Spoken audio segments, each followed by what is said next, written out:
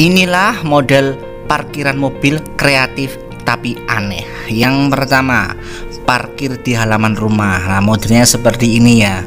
Karena agak moncong ke belakang jadi pagarnya di model seperti itu sesuai dengan bodi mobil bagian belakangnya ada juga moncongnya di depan seperti sedan ini terpaksa yang bagian bawah tidak ada pagarnya jadi agak lucu dan unik ada juga yang seperti inilah kalau ini kreatif tapi nggak baik ya ini memakan jalan umum. Ada juga seperti ini ini juga kurang baik memakan uh, jalan umum juga ya. Contoh kreatif yang kurang baik. Ada juga model seperti ini tidak ada pagarnya sehingga yang bagian depan kepanasan jadi burum seperti ini lama-lama ya. Besinya pun catnya akan retak-retak tentunya seperti itu kusem kalau kepanasan selanjutnya ada juga yang belakang gini juga kepanasan ya kalau orang lewat juga nggak bisa kasihan. Selanjutnya juga ada yang kreatif seperti ini mirip display di showroom kalau gini nggak tahu masuk keluarnya bagaimana. Ada juga yang kreatif seperti ini ya cuma kalau yang begini ini keluar masuknya agak susah ya apalagi kalau kita buru-buru mau kerja. Kalau nggak hati-hati bisa nabrak kanan kiri tentunya. Ada juga yang kreatif model seperti ini pickup yang belakang masuk ke parkiran tapi kepalanya di luar. Ini kalau mau dicuri maling lebih mudah dan juga cepat rusak kepalanya karena kepanasan. Dan selanjutnya yang menempati urutan kedua yaitu parkir di saluran air ya. Modelnya seperti ini ya. Kalau orangnya nggak hati-hati bisa terjebur sama mobilnya sekaligus ya. Mobil sama orangnya bisa masuk selokan. Nah ini juga ada di atas selokan juga tapi ini malah lebih baik dikasih kanopi ya. Padahal mobilnya mahal tapi buat garasi tidak bisa.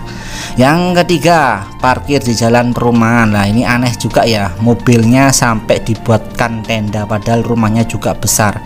Saking kebangetan orang seperti ini ya. Ini juga dibuat kanopi padahal ya masih cukup seharusnya. Rumahnya kan lumayan besar tapi sengaja diparkir di jalan ini juga sengaja diparkir di jalan. Kan kasihan orang lewat juga nggak bisa kalau ada mobil pas-pasan ya. Ini juga seolah-olah e, jalan umum adalah garasi milik pribadinya juga. Nah ini malah juga aneh dikotai buat kaplingan di jalan untuk garasinya sendiri.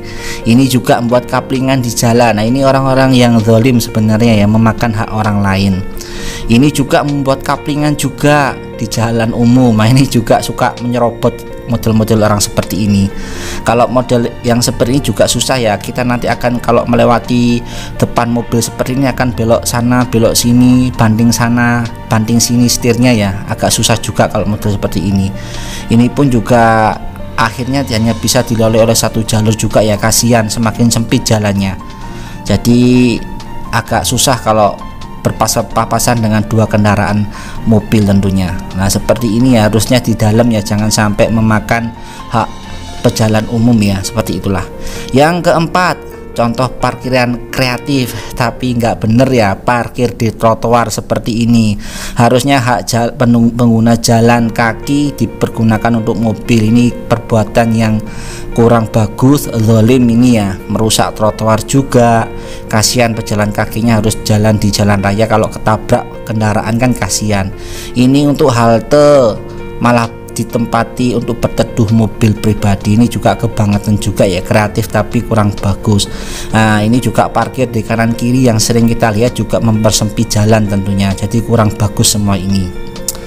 Mungkin hanya itulah parkiran kreatif tapi aneh. Semoga bisa bermanfaat. Harapan kita sebelum anda membeli mobil anda harus sudah menyiapkan garasi mobil sehingga tidak merugikan kepentingan umum ya. Apalagi sampai membuat kaplingan di jalan umum. Itu sangat-sangat perbuatan yang kurang bagus. Demikianlah. Semoga bermanfaat. Wassalamualaikum warahmatullahi wabarakatuh